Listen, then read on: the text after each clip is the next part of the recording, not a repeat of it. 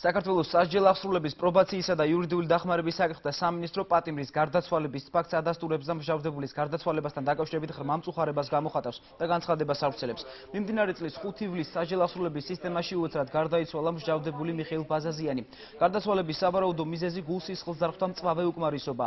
გარდაცვალებასთან დაკავშირებით 2012 წლის 5 ივლისს ისევე როგორც ყველა შემთხვევაში ამ ფაქტთან დაკავშირებით მყისიერად დაინიშნა ექსპერტიზა. სამინისტრო მოუწოდებს ყველა დაინტერესებულ მხარეს თავი შეიკავოს სამწუხარო ფაქტის წინასწარი შეფასებისგან აღნიშნულია საჯელავსრულების სამინისტროს მიერ დღეს გავრცელებულ განცხადებაში